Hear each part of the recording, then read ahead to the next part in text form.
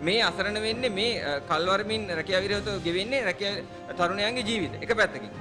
ඒ වගේම අපි දැනට අමාත්‍යාංශිත එක්ක දිගින් දිගටම සාකච්ඡා කරමින් ඒ වගේ උද්ඝෝෂණ කරමින් ගෙනාපු පෙළක් තිබුණා. ඒ පෙළ ඇතුළේ අපි ලබාගත් ජයග්‍රහණ ප්‍රමාණයකුත් තියෙනවා. ඒ තමයි දැනට මේ EPF ප්‍රශ්න නිසා EPF ප්‍රශ්න නිසා අසාධනයට පත්වෙච්ච විශාල පිරිසක් ඒ ඒ පිරිස දැනට රැකියා ගත කිරීමට දාගෙන කොටසක් නාම ලේඛන වල නම් තියෙනවා. තව කොටසක් ප්‍රතික්ෂේප වෙමින් තියෙනවා. එතකොට මෙන්න මේ පිරිසට අදාළව ගැටලු ටික තමයි දැනට ලිහිමින් යන්නේ. අපිට ඉල්ලන්න ආණ්ඩුවෙන් කාරණයක් තියෙනවා. ඒ තමයි මේ මේ වැඩ පිළිවෙලත් අවුල් කරන විදිහේ ප්‍රකාශ විශේෂයෙන්ම ඇමතිවරුන්ගෙන් ආණ්ඩුවේ පාර්ශවයෙන් ඉදිරිපත් වෙමින් තියෙනවා. එක ප්‍රකාශයක් තමයි රාජ්‍ය සේවා අමාත්‍යාංශ පාර්ශවයෙන් නොවැම්බර් 20 වෙනිදා ජනක බණ්ඩාර තෙන්නකෝන් විශේෂ භාර අමාත්‍යවරයා විදිහට එතුමන් ප්‍රකාශයක් කරනවා දින තුනකින් දින දෙක තුනකින් මේ වැඩේ ඉවර කරනවා කියලා. ඒතර ප්‍රශ්නේ තියෙන්නේ ඒ ඉලක්කම් සංඛ්‍යාලයකන පෙරළ පෙරළ මේ කරු ප්‍රකාශයේ උපාධාරින් කලබන ප්‍රකාශයක්. එතකොට ඒ ඒ ප්‍රකාශය කරලා නාම ලේඛනයක් නිකුත් කරා නොවැම්බර් 23 වෙනිදා. ඒ නාම ලේඛනයෙන් හැදිච්ච අවුල තමයි මේ තවත් දිග්ගැහිමින් යන්නේ. ඒ නිසා අපි එක පැත්තකින් අවධාරණය කරනවා විශේෂ භාර ඇමතිවරයා විදිහට එතුමන්ට එහෙම අත්නෝමතික ප්‍රකාශ කරන්න කිසිම අයිතියක් නැහැ. මොකද මේ මේකට දාලා නිශ්චිත නිශ්චිත වැඩපිළිවෙලක් හදලා ඒ බඳවා ගැනීම ක්‍රියාවලිය ඇතුලේ දිගටම අකණ්ඩව මැදිහත් වෙමින් යම් ප්‍රමාණයක හෝ කැපකිරීමක් කරා නම් එහෙම ප්‍රකාශ නිකුත් නොවේ කියලා අපි හිතන්නේ. එක පැත්තක්. අනිත් පැත්ත තමයි දැන් මේ දෙසැම්බර් 10 වෙනිදා පාර්ලිමේන්තුවේ වාචික පිළිතුරු අපේක්ෂාවෙන් යොමු කරපු ප්‍රශ්නයකට පිළිතුරු දෙමින් ජනමාධ්‍ය අමාත්‍ය ඒ වගේම කැබිනට් ප්‍රකාශක කෙහෙලි ලම්බුකැල්ල මහත්මයා කියනවා දෙසතියකින් ඉතුරු උපාධාරයන්ගේ රැකියා ප්‍රශ්නේ විසඳනවා කියන එක. එතකොට ප්‍රශ්නේ තියෙන්නේ මේ දෙසතියක් දැන් ගෙවෙමින් යන තව දවස් කිහිපයක් තියෙන්නේ. එතකොට එහෙම තියෙද්දි මං හිතන්නේ මේ අඩුතරම මේ ප්‍රකාශ කරද්දි අමාත්‍යාංශයත් එක්ක කතා කරලාද එහෙම නැත්නම් අදාළ බලධාරීන්ගේ එක්ක කතා කරලාද මේ ප්‍රකාශ කරන්න කියන එකත් අපිට ගැටලුවක් තියෙනවා. මොකද ඒ අපි හිතන්නේ නැහැ විශේෂයෙන්ම ජනමාධ්‍ය අමාත්‍යවරයා විදිහට ඒ වගේම අනිත් පැත්තකින් ගත්තාම පස්සේ කැබිනට් ප්‍රකාශක විදිහට ඔවුන් මේ කරන දේ අපි රට සලකන්නේ නිල ප්‍රකාශ විදිහට.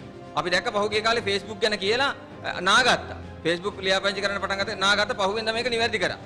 යම් ප්‍රමාණයක් මං හිතන්නේ ඒකේ මොලයක් ඇති එක්කෙනෙක් දෙන්නෙක් හරි ඔය ඇති ඇතිනේ. ඒ නිසා මම හිතන්නේ මෙන්න මේ ප්‍රකාශ කිරිල්ල කරුණාකර නවත්තන්න කියන එක අපි ඉල්ලනවා. මොකද මේ ප්‍රකාශ වලින් වෙන්නේ මේ දැන් රැකියාව විරහිත උපාධාරණ විශේෂයෙන් මාස ගණනක් තිස්සේ තමන්ගේම පිරිසක් තමන් එක්කම එකට ඉගෙන ගත්ත පිරිසක් රැකියාව ලබද්දී ඒ ඒ සුසුකම් තියෙන පිරිසම මේ විදිහට අසාධාරණයටපත් වුණා. එතකොට එහෙම ගැටලුවක් මේක ඇතුලේ තියෙද්දි ඒකෙන් තවත් දේශපාලන වාසි ගන්න හදන්න එපා කියන එක අපි ආණ්ඩුවේ ඇමතිවරු ඇතුළු වගකිය යුතු ඒ දේශපාලන තන්ත්‍රයෙන් අපි ඉල්ලා සිටිනවා.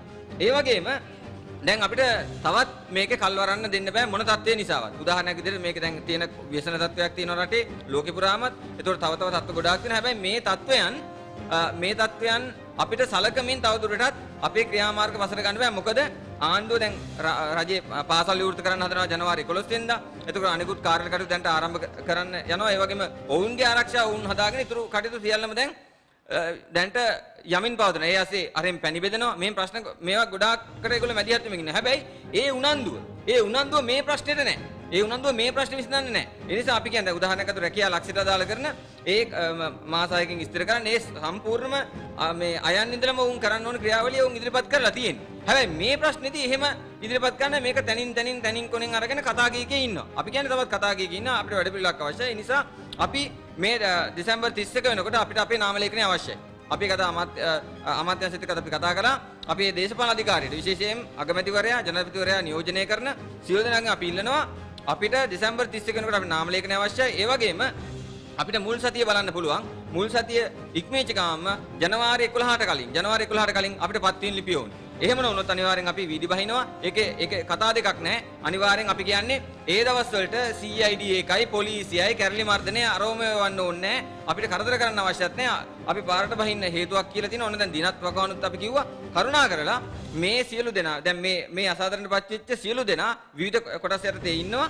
ඒ සියලු දෙනා රැකියාගත කිරීමට අදාළ කරන වැඩසටහන සකස් කරලා නාම ලේඛන ප්‍රසිද්ධ කරන්න ඉන්න අනතුරුව වහාම ජනවාරි මාසේ 11ට කලින් ඒ සියලු දෙනා ප්‍රාදේශීය ලේකම් කාර්යාලයට ගෙනල්ලා පත්තින් ලිපිය තැපෑලෙන් හෝ ඒ විධිමත් ක්‍රමවේදයක් අතරේ ඔවුන් ඔවුන් අතරපත් කරලා පුහුණුව පුහුණුව කවද්ද කරන්නේ? පුහුණුව ආරම්භ කරන්නේ කවද්ද කියන එක ඒ දිනවකවානු සහිතව වහාම ප්‍රකාශ කරන්න. Breaking.lk